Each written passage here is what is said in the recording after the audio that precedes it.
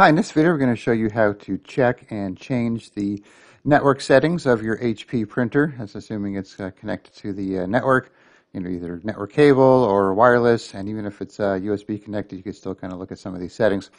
So what you want to do, the easiest way is to download the HP Smart app. You get it from the Microsoft Store, and once you downloaded it, you click on Open, and then it's going to have to find your printer, so make sure your printer is connected. Otherwise, you're going to have to configure it to uh, be used with this program to begin with. So it has my laser printer here. So what you want to do is go into the printer settings, and then you have this network information if you want to see this here. So just kind of basic overview that it's using. Uh, it's not using wireless, it's, or the wireless is on. It's not connected. Uh, Ethernet not connected is using USB. I don't know why that says not connected because it is. Uh, I actually have two two printers for this. I have a wireless version and a non-wireless version. So we're going to go to the advanced settings here, and then networking, and you'll see all your basic information here for the summary. So here's the IP address, you know, the gateway, the subnet mask. It's using DHCP, and the DHCP server is using this address, and the TCP IPv6 stuff uh, domain name or host name, I should say. I'm going to show you how to change this if you want to make it something more uh, readable or something you could recognize. Domain name is LAN, so it's not connected to wired. So here's the wireless. So connected, wireless is on, network name, SSID, so on. So if you want to go just in the IPv4 configuration, you could do that. And if you want to change this from DHCP to manual, put in your own address, you could come here and do that. Anyway, you can also change the subnet mask and gateway if needed. And of course V6 if you want to get into that.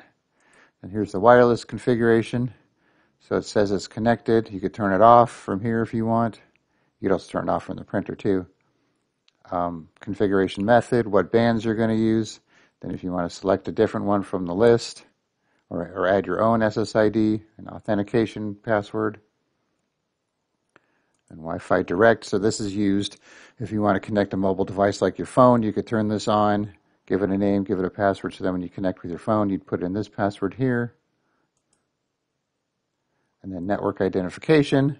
So here's the host name. So if I wanted to change this to, let's say, uh, well, actually, let's before we do that, let's do a little check here. So if I do a NS lookup of 2.168.1.70, that's the printer IP address.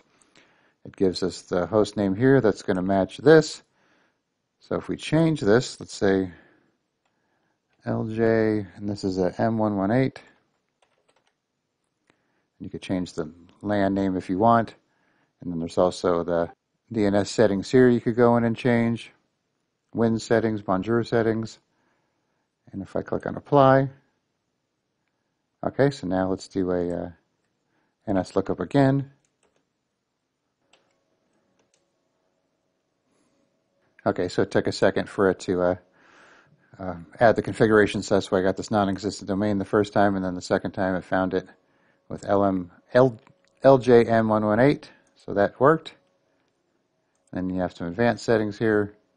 If you want to enable or disable some features, just you know, be careful if you're connected. If you start disabling things and changing things, you might lose the connection to your printer. So Internet Printing Protocol, syslog, link speed, all the other good stuff.